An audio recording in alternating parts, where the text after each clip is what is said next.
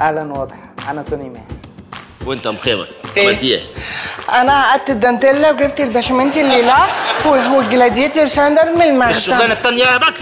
سلمت مخزن السلاح بتاع العوائلة. تنتوسي. آه.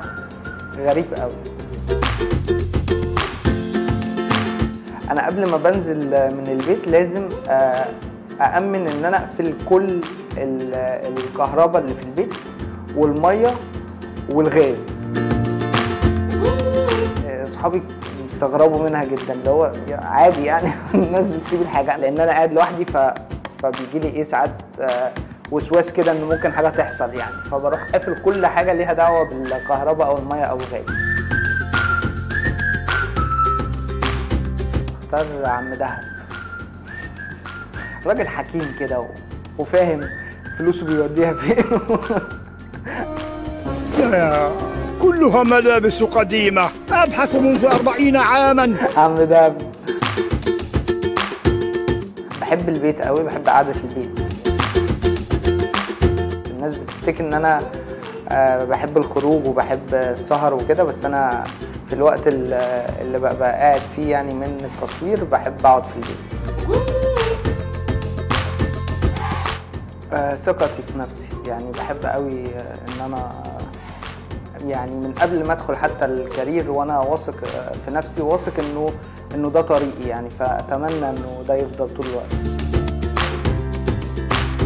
آه نفسي أنط من طيارة اللي هو بيسموها إيه؟ اللي هي أي نطة من طيارة يعني بس غير بتاعت رامز جلال يعني. بقعد نص ساعة أو ساعة آه، من غير ما أتكلم خالص.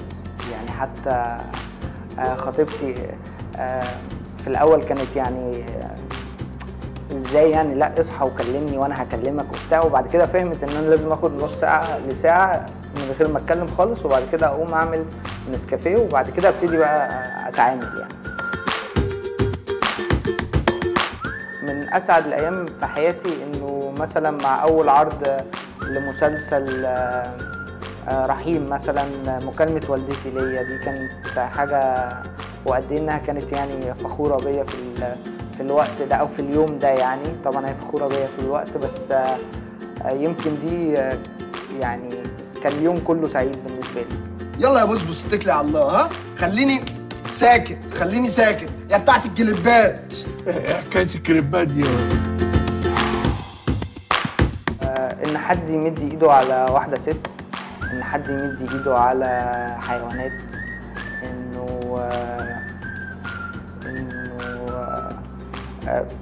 اقعد امدح في ناس معينة مدة طويلة جدا بس لاني عايزهم يشغلوني أو عايزهم يخلوني معاهم في ال career يعني وأنا بكره ده يعني. ده مخجل بالنسبة لي يعني. thank you واضح.